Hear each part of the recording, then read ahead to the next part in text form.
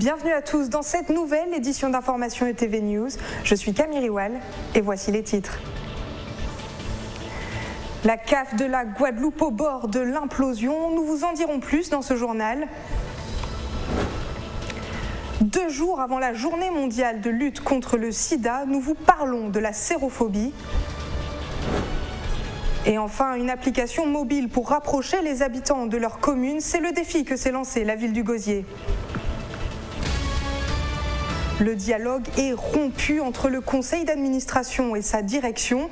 C'est le climat qui règne en ce moment à la CAF de la Guadeloupe, une tension qui laisse place à de nombreux dysfonctionnements dans le traitement des dossiers.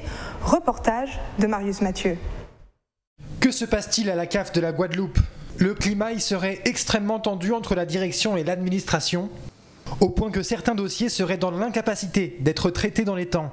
Certains bénéficiaires ont pu en faire le constat. Je trouve que les dossiers traités avec la CAF, c'est un peu, un peu long quand même, puisque euh, le mien, il a pris un mois et demi quand même pour avoir une réponse et qu'une réponse en fait. Donc euh, c'est vraiment vraiment long. Pourtant, selon le directeur national de ce service public, en visite exceptionnelle en Guadeloupe, les résultats seraient aujourd'hui garantis et plus que satisfaisants. À la CAF de Guadeloupe, les demandes de prestations ainsi que tout autre contact avec les usagers sont traités en moins de trois jours. J'ai lu un article dans France Antilles ce matin. On lit dans cet article que les salariés seraient, le conditionnel est employé, tellement surchargés qu'ils n'auraient pas commencé à traiter les dossiers de 2018. Fin de citation. Ceci est faux. Et il est très important que les Guadeloupéennes et les Guadeloupéens sachent cela et soient assurés de cela. Un discours d'apaisement qui ne fait mention d'aucune tension. Pourtant, certains salariés de la CAF ont tenu à souligner l'ambiance particulière en ce moment dans les bureaux. La situation est actuellement euh, tendue mais euh, le fonctionnement de l'organisme euh, se déroule normalement. Et donc euh, nous avons des échanges avec la direction. La direction générale est actuellement sur place. La direction générale de la Caisse nationale est actuellement sur place euh, pour euh, donc des échanges suite à l'interdome qu'il y a eu, qui a eu lieu en Martinique. nous allons la rencontrer, échanger avec elle et cela dans un échange que nous espérons riche, instructif, courtois. À la suite de cette réunion au sommet, le climat pourrait s'apaiser. Il restera à voir si les dossiers sont bien traités en moins de trois jours. En France, plus de 6000 personnes découvrent chaque année leur séropositivité et la Guadeloupe est loin d'être épargnée. C'est la deuxième région la plus touchée proportionnellement à la population. Mais au-delà de la maladie, les séropositifs font face à la discrimination.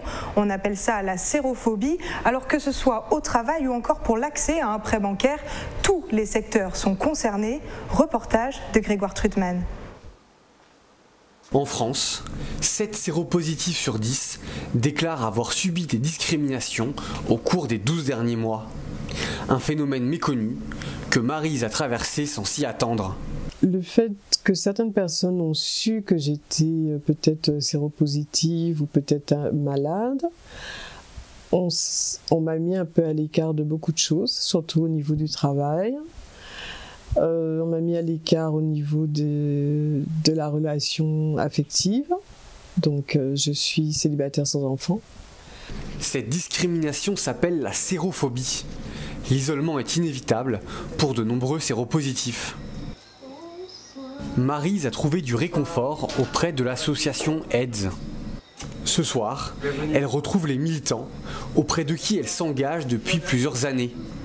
Aide, c'est une association euh, qui euh, voit avant tout l'humain. Le fait d'être ensemble, ça me réconforte et je vois que certaines personnes ont passé les mêmes épreuves que moi. Une solidarité pour rompre l'isolement. L'association mène régulièrement des campagnes de lutte contre les préjugés, particulièrement forts en Guadeloupe. C'est vraiment lié à un manque d'information les personnes s'imaginent qu'on peut euh, transmettre le VIH euh, en jetant des sorts. en ayant un contact avec une personne, en partageant sa vaisselle, en allant dans les toilettes avec la personne ou en s'embrassant simplement. Et, euh, c'est ce genre de mésinformation qui crée la sérophobie. Le soutien de AIDS a permis à Marise de garder la force de se soigner. Sa maladie est aujourd'hui indétectable et intransmissible. Et vous pourrez retrouver le témoignage intégral de Marise dans notre prochaine édition. On reste dans le domaine de la santé avec le mois sans tabac qui s'achève. Une participation record cette année. Près de 250 000 personnes se sont lancées. Le défi, c'est 54% de plus que l'année précédente. Et pour arrêter définitivement, eh chacun a sa solution. On vous avait parlé de l'acupuncture. Cette fois-ci, on jette un œil sur l'hypnose avec Célia Dejoux. Fermez les yeux pour mieux vous concentrer sur votre, les images de votre écran intérieur. Respirez lentement, c'est bien, profondément, tranquillement. L'hypnose, c'est la méthode qu'a choisie Karine pour arrêter de fumer. Après 15 années de tabagisme et deux échecs, elle s'est tournée vers cette méthode alternative. Je suis tombée sur un article qui parlait des différentes méthodes euh, d'arrêt du tabac et puis euh, je me suis dit pourquoi pas. Et pour elle, le résultat a été presque immédiat. Une séance seulement aura suffi pour lui passer l'envie de fumer. Je croyais pas. Quand je suis partie, le docteur m'a dit euh, Bah ça y est, vous avez arrêté de fumer. Je me suis dit Bien sûr. et puis, euh, ben, je me suis rendu compte, mais de rien, qu'en sortant du cabinet, ben, mon paquet de cigarettes qui était encore dans mon sac, ben, je n'avais pas envie de fumer. Et je l'ai jeté. euh. Un succès qui explique peut-être le fait que de plus en plus de Guadeloupéens se soignent grâce à l'hypnose. Et en un an, le docteur Adjal a déjà soigné plus de 200 cas. Je me retrouvais devant des patients un petit peu démunis euh, par rapport à, à leurs addictions, le tabac, le cannabis, euh, etc. Et qu'ils étaient à la recherche d'une solution autre que médicamenteuse. Je me suis aperçu que les gens étaient euh, très demandeurs et que c'était une thérapie qui avait un capital sympathie euh, très important qui fait que les gens adhèrent à la technique et donc euh, on part déjà sur un, bon point de départ pour pouvoir effectivement leur permettre de leur donner les outils pour, pour arrêter. Aujourd'hui, Karine n'a pas touché une cigarette depuis plus de 6 mois et a retrouvé les plaisirs d'un quotidien sans tabac. Une application mobile pour se rapprocher des habitants, c'est l'idée qu'a eue la mairie du Gosier. Objectif proposer tous les services communaux directement sur les smartphones. Alors à l'heure où 90% des Français avouent se connecter tous les jours via leur téléphone, les élus espèrent s'inscrire dans la tendance. On voit ça tout de suite. Il fait partie de notre quotidien, le smartphone présent dans toutes les poches et ce, parfois en double. Alors cette tendance a donné une idée aux élus du Gosier. Pour se rapprocher des habitants, il faut passer par une application mobile. Elle s'appelle Gosier Connect et ne manque pas de rubrique. On a directement accès à l'interface globale qui est un peu la home page de la l'application. Les actualités, donc à partir du moment où on clique, on a accès directement aux dernières actualités euh, mises en ligne euh, par la ville sur le site internet. La rubrique info travaux.